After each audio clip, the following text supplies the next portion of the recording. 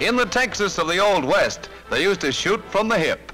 But now at the Fort Bliss Anti-Aircraft Artillery Training School, they teach them how to shoot on the run.